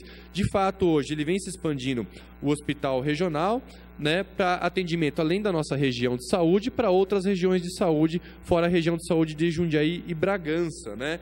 Mas de fato, o que ele faz é muito pertinente à nossa região, a gente temos necessidade, mas hoje o nosso maior gargalo, e aí eu queria chegar também na sua fala, é, nós temos um problema estruturante na saúde pública, da nossa região e do Estado, o déficit de leitos. Nós temos um próprio estudo do Ministério da Saúde feito por nós, lá da Secretaria de Saúde, o déficit regional dos sete municípios, que são 800 mil habitantes, 70 leitos de UTI de déficit. Ou seja, nós somos em nove hospitais, né? três em Jundiaí, HU São Vicente Regional, e mais seis na região. Nós temos um déficit de 70 leitos. Quem vai abarcar esses leitos? Déficit, gente. Faltam leitos de UTI. Né? É os municípios vizinhos, que também estão sufocados? Ou a gente consegue abarcar isso no hospital estadual? Nós temos déficit também de leitos de clínica médica. 140 para ser mais preciso, de acordo com os próximos, próprios parâmetros do Ministério da Saúde. Então, esses problemas estruturantes que a gente vem tratando junto à Secretaria de Estado da Saúde, para que de fato a gente consiga ter, além de um bom hospital regional, porque de fato quem passa no hospital regional sabe da excelência do atendimento dele. A grande questão é quem não consegue ter acesso ao hospital regional porque ele não garante aquela assistência que está no gargalo dos municípios ainda. E é a nossa grande luta, e sei que é uma luta sua também, para que a gente amplie o escopo do regional. O que é o escopo? Que ele deixe de apenas fazer cirurgias eletivas de média complexidade. Né? Então, esta luta de todos os municípios da região de saúde, junto com o apoio aqui dessa Casa Legislativa também, para que de fato a gente possa resolver o problema estruturante da região de saúde de Jundiaí. Não sei se pude ser claro, sei que me alonguei um pouco na fala, mas eu sei que haveriam outras perguntas também da ordem da saúde. Espero ter poder respondido e atendido o pleito de todos. Obrigado. Ô, Tiago, ô, seu presidente, só tirar uma dúvida quando o Tiago está aí. Pode ser? Marcio, eu gostaria de primeiro registrar a presença do Dr. Paulo Sérgio Martins e também passar a fala para o Rafael Antonucci, que já estava escrito. Aí depois, se você puder.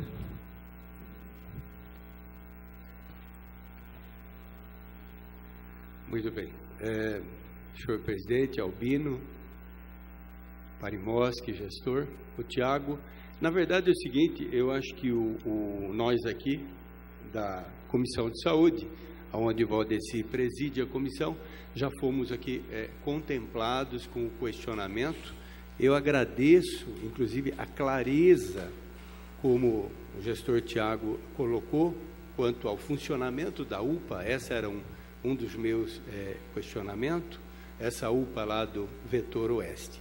Eu queria só aproveitar para reforçar e complementar que e para que as pessoas saibam realmente que essas UPAs em construção, elas já foram abandonadas, abandonadas em 2016, ainda antes da eleição. Então, essas UPAs, realmente essas construções, essa é uma dívida que está aí para ser resolvida. Então, eu pediria o máximo empenho, porque nós temos um prédio muito bonito, um esqueleto de prédio ali no setor oeste, inclusive vai desafogar a região. Nós temos um, um PA da ponte hoje, onde nós somos muito cobrados, principalmente nós ali da, da, da Zona Leste, que está eu e o Márcio também, que é da região, ele sabe muito bem do que se trata. Nós temos um local, que uma logística ruim, né? um local onde as pessoas ali esperam ter um movimento grande. Então, e pagamos aluguel de um prédio em péssimas condições. Então é bom que a população saiba que não só este vereador, mas a Comissão de Saúde e também é, meus colegas da região têm lutado nesse sentido para melhoria. Eu fico muito é, satisfeito, é, primeiro com a explanação e a responsabilidade financeira do município, do nosso gestor Parimós, e é excelente, eu acho que sim, cabe sim, nesse momento, uma fala sua, porque tem muito mimimi ainda por aí, e eu fico, me sinto contemplado com, com a vossa colocação e gostaria realmente, Parimoski, de um empenho muito grande para que essas obras não se tornassem, como muitas obras nesse país, elefante é, branco, abandonado, é um dinheiro público jogado no lixo, que realmente seja transformado dessa maneira. Eu acho que a população hoje tem uma consciência clara do custo da saúde, do abandono do governo federal, doutor Ligabó, é um que vive isso aí dentro. A tabela SUS foi abandonada enquanto a inflação ela fica num patamar baixo, mas na área de saúde é um outro patamar essa inflação. E, infelizmente, os municípios cada vez mais sobrecarregados. Então era, era mais essa fala, mais uma vez aqui agradecer a maneira muito clara. Eu acho que o, o Parimoski está é, tá preparando novos guardas municipais, ele até é, é, não falou, mas daqui a pouco tem, tem mais guarda aí.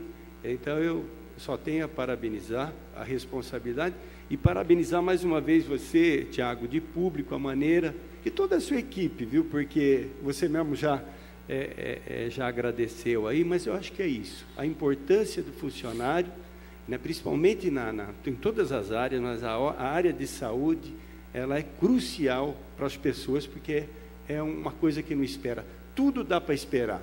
O mato, tudo isso dá para esperar. Mas a saúde não dá para esperar. Eu acho que eu sei que vocês têm feito realmente até acima daquilo que é possível. Então, mais uma vez, eu queria te agradecer também a maneira que você tem nos atendido lá. Obrigado. Gostaria de passar a palavra ao vereador Márcio. Primeiramente, parabenizar pela explanação o Tiago. E eu tenho algumas dúvidas pelo seu financiamento aí. Você falou que a UPA ia atender toda a região e agora a clínica de família, talvez não é toda a região, isso é uma dúvida que eu estou tendo. Eu não faço parte da comissão de saúde, mas a primeira indicação minha foi sobre a UBS do Mirim e do Tamoio também, que é a região que a gente atua. A gente fala de saúde, a gente fala só da comissão de saúde, mas os vereadores que atuam nos bairros aí também é, vem há muito tempo pedindo por isso também.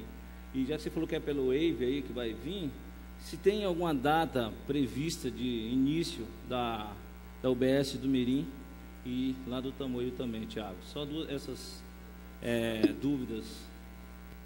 Perfeito. É isso, da colônia, o senhor Rafael falou que da colônia também faz parte do pacote, né? só complementando a frase. É, acho que para deixar bem claro, voltando para a questão da UPA, né? A UPA é um mini hospital, porta de urgência e emergência. Ela está desenhada para todo aquele vetor oeste, né? Aquela região de saúde do, vetor, do oeste ali. Ali são 140 mil vidas. Então, de fato, ela é um serviço, é um mini hospital. né, com 18 leitos, com todo aquele serviço que eu já citei aqui para os senhores. Né? Então, quem chegou é atendido. Né? Aí, se chegar alguém do município vizinho, é serviço de urgência e emergência, né, gente? Muitas vezes pessoas perguntam para nós. E nós sabemos, gente, que saúde pública funciona assim.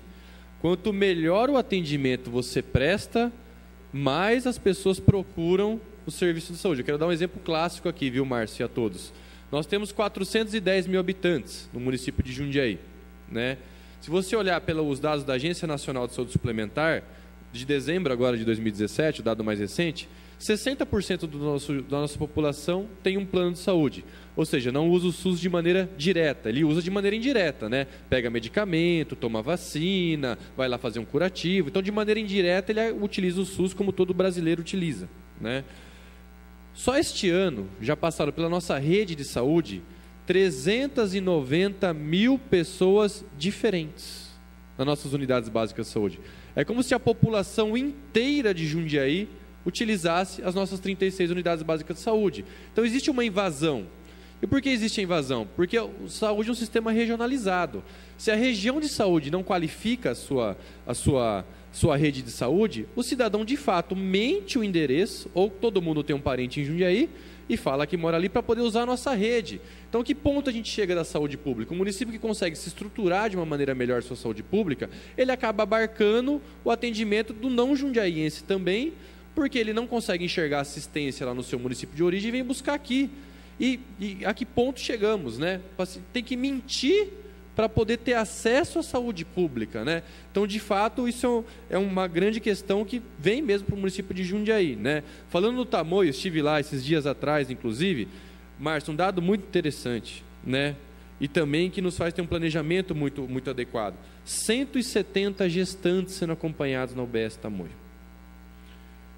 Desse volume, estive lá com o gerente, inclusive, 40 são do município vizinho, que deveria estar fazendo o pré-natal no seu município, mas elas entram aqui porque o nosso pré-natal tem tudo, todos os exames, todos os ultrassom, tem o médico, tem tudo, e tem acesso ao hospital universitário.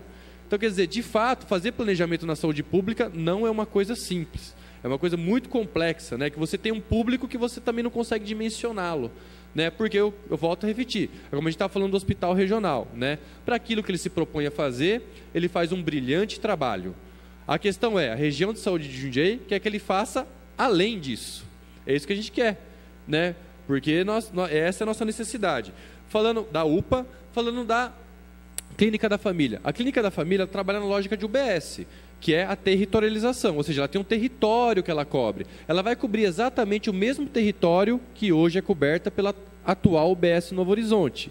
A gente só vai trans, é o CDHU, Novo Horizonte 1 e 2 e os residenciais, né? É aquela população já coberta hoje pela atual UBS. A diferença é, a população é a mesma, mas a equipe está dobrando. A UBS está dobrando de tamanho, dobrando, dobrando em número de médicos, de enfermeiros, de técnicos de enfermagem, de dentistas, de exames que vai ter dentro lá dentro e também a consulta com o especialista. Então nós estamos qualificando muito essa atenção primária. Queria falar uma fala também aqui é, do, do nosso vereador, né, do Rafael, que de fato, gente, quando você olha o orçamento da saúde, parece os números parecem ser altos. Mas quando você divide este número por número de habitantes mês, nós temos 100 reais por habitante mês para gastar com saúde pública, sendo que 80 desses 100 vem do recurso municipal, só 20% vem da União. 100 reais. Me falem um plano de saúde que custe 100 reais e o plano de saúde não faz ações de vigilância sanitária,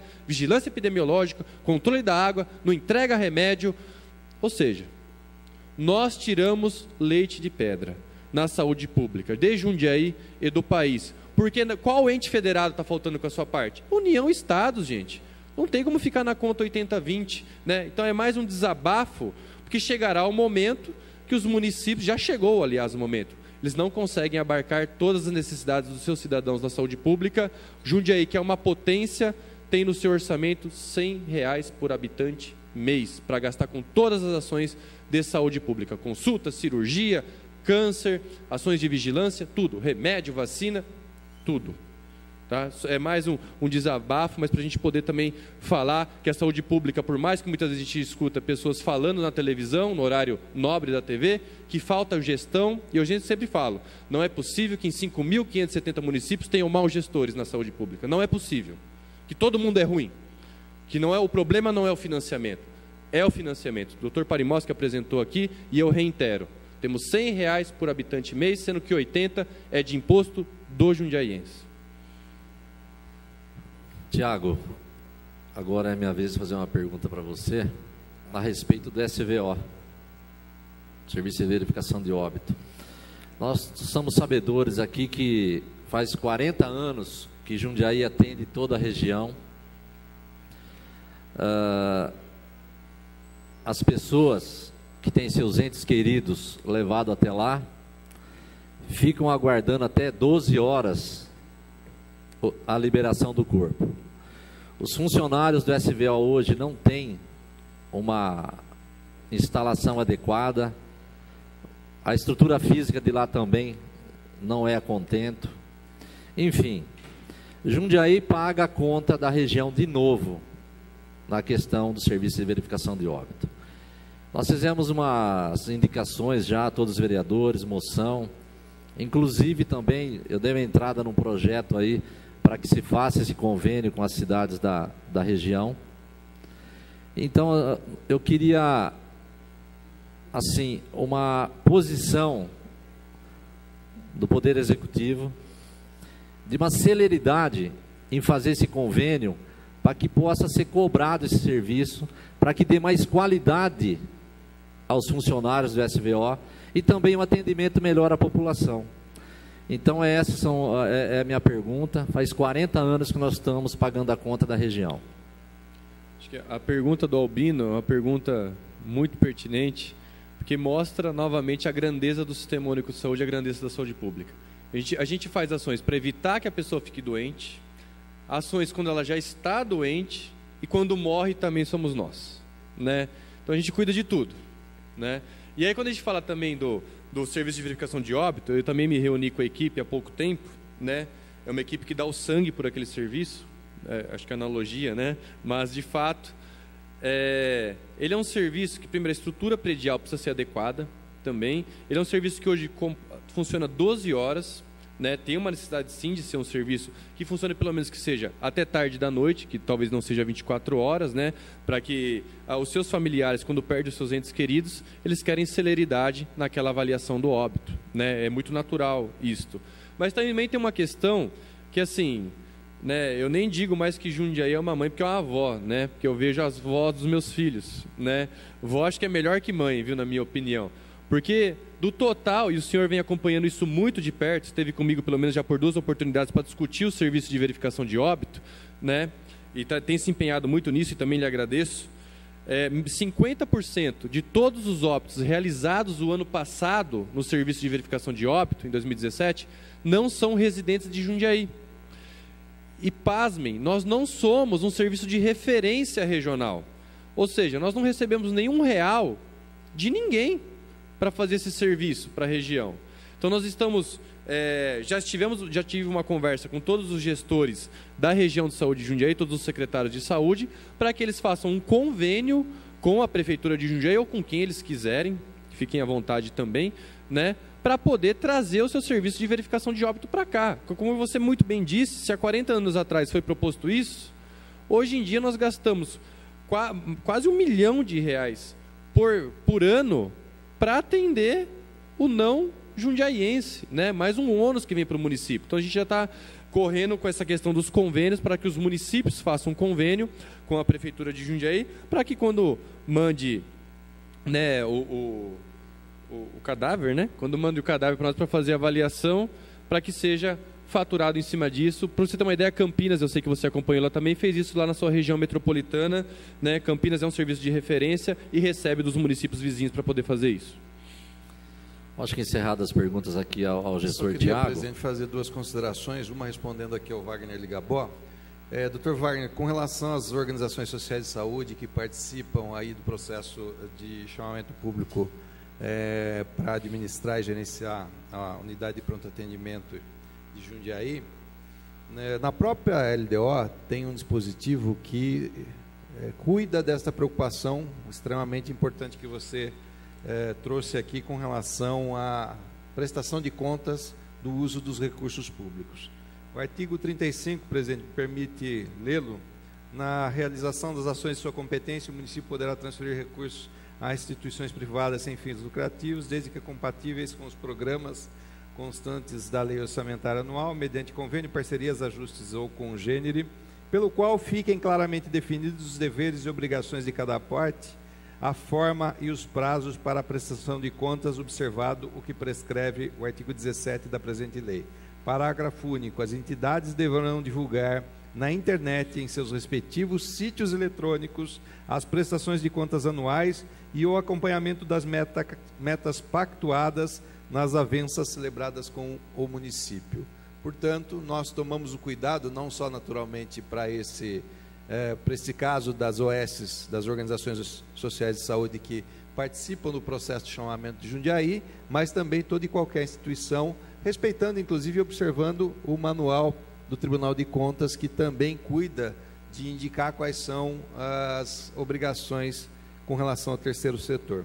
E só para finalizar a questão aqui com relação ao Hospital Regional, em julho de 2017 nós fizemos, Ligabol, uma reunião com todos os prefeitos da região, do aglomerado urbano, e o prefeito trouxe a proposta aos prefeitos eh, dos municípios que compõem a região de saúde de Jundiaí, o aglomerado urbano, a possibilidade de formação do consórcio de saúde. E a minha proposta, né, Tiago, naquele momento foi que nós, eh, eu sei naturalmente das condições econômicas e orçamentárias desses municípios, né, da incapacidade deles financiarem por completo uh, o atendimento que hoje é feito no âmbito do Hospital São Vicente, no entanto, nós distribuímos para cada um deles um estudo que a Unidade de Gestão e Promoção da Saúde havia feito, mostrando que 40% do atendimento são oriundos da região e mostrando para cada um deles quais eram as respectivas partes desses atendimentos, contra aquilo que vem no pacote de financiamento da média e alta complexidade, que naturalmente é insuficiente para bancar os custos relativos a essas estruturas. E nós fizemos uma proposta, Ligabó, não preocupados inclusive para que os municípios passassem no ano seguinte, que já é este, que nós estamos, a contribuir com o consórcio de maneira a financiar coletivamente a saúde pública, apesar de ser o correto. Nós fizemos uma proposta que foi na direção de apresentar um plano regional de ação de saúde, que nós fizemos, a saúde reuniu, os gestores de saúde se reuniram, montaram este plano, esse, esse plano foi concluído em setembro de 2017, né, Tiago? Perfeito. E foi protocolado na Secretaria de Estado da Saúde. E está lá. E a primeira pauta que o plano propõe é exatamente a integração entre as ações executadas no âmbito da, do Hospital São Vicente e, naturalmente, aquilo que o Hospital Regional executa na sua competência, na sua capacidade definida no seu plano de trabalho. Então, nós cumprimos, né? o prefeito cumpriu aquilo que havia sido compromissado. E agora, naturalmente, nós esperamos com que a Secretaria de Estado da Saúde defina com mais clareza e objetividade como nós, aqui na região, podemos interagir e formar uma rede de saúde que a gente consiga dar atendimento de qualidade, mas naturalmente é, que o São Vicente seja um pouco aliviado dessa pressão que ele vive no dia a dia que todos nós aqui mencionamos, enfim, a partir de um plano inteligente, racional e efetivo. Mas nós precisamos colocar em prática. E para isso, eles precisam se pronunciar. Assim como não se pronunciaram até hoje com relação ao financiamento, nós esperamos que pronuncie-se com relação ao plano. Como o senhor foi citado, doutor Ligabó, se o senhor quiser fazer um, uma breve consideração, está aberto para o senhor rapidamente. que eu, o que eu considero extremamente importante é a ação, uma ação social. Toda ação social tem que ter uma boa visão política, não é? Quando eu vejo o Tiago falando, vejo você falando, Parimosca, eu vejo você, você não, a gente não poderia ser tão sectário a ponto de, mas você dizendo que 60% de Jundiaí tem convênio Com o dinheiro que Jundiaí coloca na saúde, se nós não atendêssemos só os nossos munícipes, os, você poderia pagar melhor, mais que o convênio, os doentes do SUS. Então, mas você vai ser injusto com as, as cidades da, da região. Então, essa, essa, esse, essa equação que eu não consigo entender. A partir do momento que as cidades poderiam muito bem ajudar nós Jundiaí, todo mundo fala disso, e ao mesmo tempo o Jundiaí poderia falar, pessoal, é o seguinte, nós vamos ficar com, nós vamos financiar a nossa saúde. Nós gastamos 80% do que é financiado da saúde é nosso, e 20% vem do SUS. Fiquem com o SUS, nós vamos pagar, Jundiaí paga a sua saúde, e não precisa nem do SUS. Então, esse, esse tipo de equação, muitas vezes, quando não é visto a sensibilidade política, isso que me incomoda muito, porque ah, as cidades que têm vizinhas não querem assumir, o hospital regional, ao mesmo tempo, também faz uma, uma vista de atuação qualitativa? Não, quantitativa. A partir do momento que bateu o caixa, fecha o jogo e acabou. Então é esse tipo, é saber, eu estou até cansado de ser médico, político. Eu prefiro ser só médico, sabia? É muito difícil a gente querer ter uma visão política, social, de poder melhorar, dar o que. Porque eu vivencio o dia a dia, a fila de espera. Então é isso que eu queria. Poder concluir? Desculpe, a minha. É que eu me emociono e me incendeio quando falo sobre isso. Muito obrigado, Parimoski. Muito obrigado, Tiago. São muitas emoções, né, doutor? Gostaria de passar a palavra ao vereador José Carlos Grapé e ainda para o Tiago da Saúde ainda. É, boa noite a todos. Boa noite, Tiago. Boa noite. É, o senhor citou vários bairros aí que estão sendo tendo reformas e UBS, tá? E, PA também. Então, eu sou da região sul e eu vejo na Vila Esperança o, a, a UBS de lá, não, é, não seria uma UBS, um PA, né? Vila Esperança. Eu vejo uma situação muito precária lá, entendeu? O, o, o prédio, eu não sei se o senhor tem algum, algum projeto para reformar aquilo, ou então mudar, que, mudar de algum outro para outro, um outro lugar, para que as pessoas sejam melhores atendidas. O senhor pode responder para mim, por favor? Zé Carlos Grapé. Zé Carlos, é, obrigado pela sua pergunta. É, prazer conhecê-lo. Né? Eu não o conhecia né, até então. É, pessoalmente, né? Geralmente a gente tem bastante contato telefônico, né? Sim. É, em relação ali da esperança, nós temos uma unidade básica de saúde com uma estrutura muito ruim, né? Ali na esquininha, né? Que o senhor também acompanha e tem nos cobrado também acerca disso, né? Um pouco mais acima, nós temos uma UBS muito ampla, que é a UBS do HPAMA, né? Um pouco mais ali em cima, uma grande UBS, inclusive, saúde. Nós ainda não conseguimos, ali para a Vila Esperança, nenhuma contrapartida de EIVE ou nenhum recurso ainda vinculado do Ministério da Saúde ou emenda para uma melhora da ambiência, qualificação ou uma nova unidade básica de saúde. Né? O que nós estamos discutindo bastante com aquela comunidade da Vila Esperança é que a gente consegue Hoje a unidade básica do HP AMA, ela já trabalha até o terceiro turno, até as 9 horas da noite, né?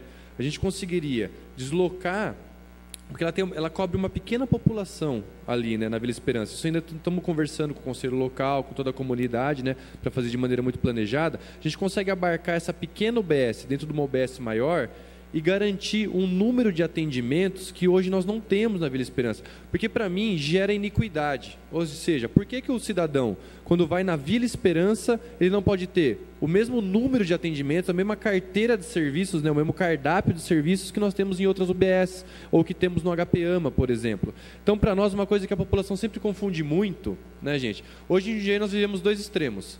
Nós temos uma UBS, que é uma clínica que vamos transformar na clínica da família, que atende 40 mil vidas e temos uma OBS que atende 3 mil vidas.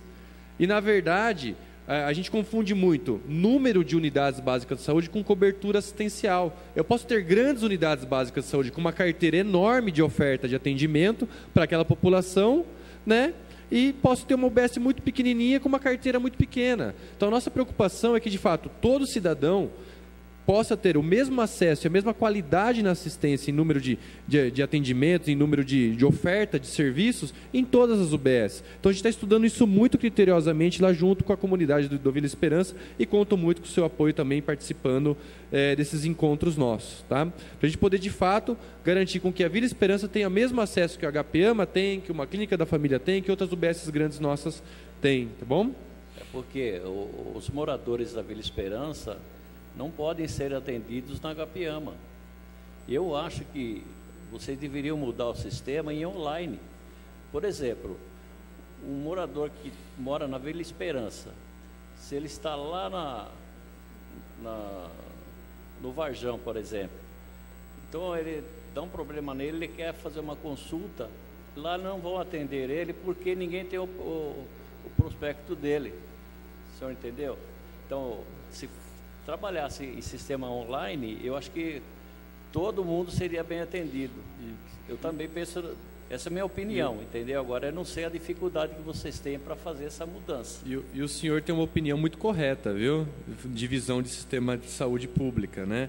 Que de fato é a primeira pergunta do, do nosso colega Ligabó, né? Nós colocaremos, já iniciaremos 2019 já com prontuário eletrônico em todas as unidades de saúde, para que de fato o cidadão que passe mal em alguma outra região e precise ser assistido ali de urgência na sua unidade básica de saúde, o profissional de saúde que abra a tela do computador tem acesso a todas as informações daquele paciente. Então, de fato, esse grande projeto está caminhando muito bem e início de 2019 todos os serviços já com prontuário eletrônico em funcionamento. Muito obrigado. Eu que agradeço. Bom, não tendo mais perguntas ao Tiago da Saúde, Zé Antônio, eu gostaria de fazer uma pergunta a respeito da Secretaria da Educação, né, a plataforma da educação. Não sei se o senhor responde ou a, a gestora Vasti pode responder. A gestora Vasti com certeza responde.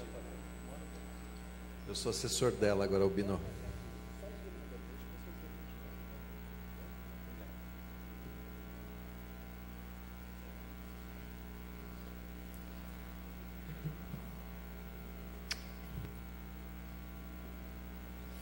Então, Vasti, eu gostaria de, de, saber como que anda a, o planejamento a respeito das escolas municipais.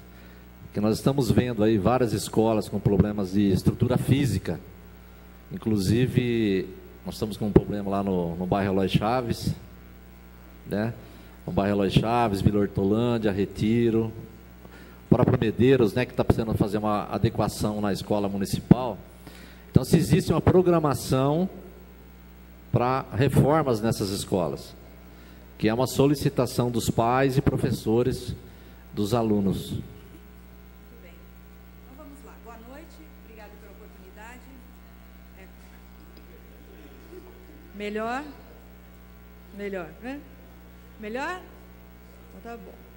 É, na verdade, nós temos sim um planejamento bastante intenso.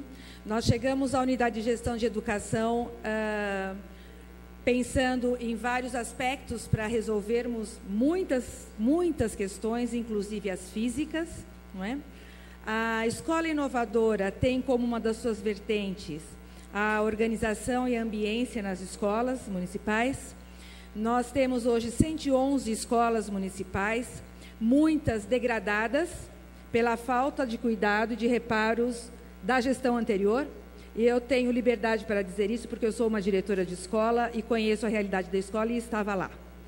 E durante uh, um ano e meio que estamos na educação, a educação preparou um planejamento para reformas e ampliações das suas unidades escolares este ano nós já inauguramos três grandes obras de reformas e ampliação e vamos continuar até o final do ano com mais 15 obras de reforma, ampliação e uh, o tratamento da ambiência. Não é? E esse planejamento segue nos próximos anos, até que ao final de 2020 nós tenhamos as escolas todas reformadas, ampliadas e organizadas. Temos tido muito sucesso com as parcerias tanto com os nossos diretores de escola, que entendem a necessidade da reorganização dos seus espaços físicos, É, e essas parcerias compreendem, muitas vezes, que a unidade de gestão adquira os materiais e a comunidade escolar se organiza com pais dos alunos, com os pedreiros da sua região, com pintores, e isso tem acelerado muito o processo. Uh, haja vista o exemplo, por exemplo, da quadra da escola do uh, Novo Horizonte. Eu me esqueci o nome, Elídio, me ajude. A escola da Marjorie. Marli, né, EMEB Marli, que está nos dando, o, está dando o exemplo para a sua comunidade. Então, a escola arrecadou uma quantia em dinheiro e nós estamos fazendo uma quadra coberta. Entramos com a mão de obra. E assim se sucede em todas as unidades que têm compreendido a necessidade de agilizarmos isto. As escolas que não têm condições de trabalhar em parceria, lógico, também serão atendidas.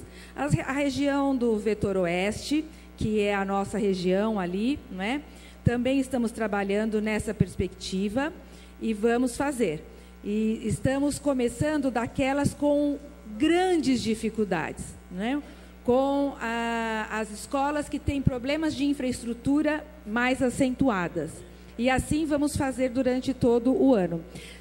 Daqui duas semanas, eu terei uma reunião com as diretoras de escola, inclusive, para que nós trabalhemos com elas esse planejamento que já está organizado, dando os prazos e datas definidas para a organização da ambiência da sua unidade escolar. Bom, agradeço a as respostas, né? O, foram, o, o Bino, só para pontuar, eu não, não, prestei atenção, Vassi, se você falou, nós fizemos a Valdemir Savoy no Tulipas, né?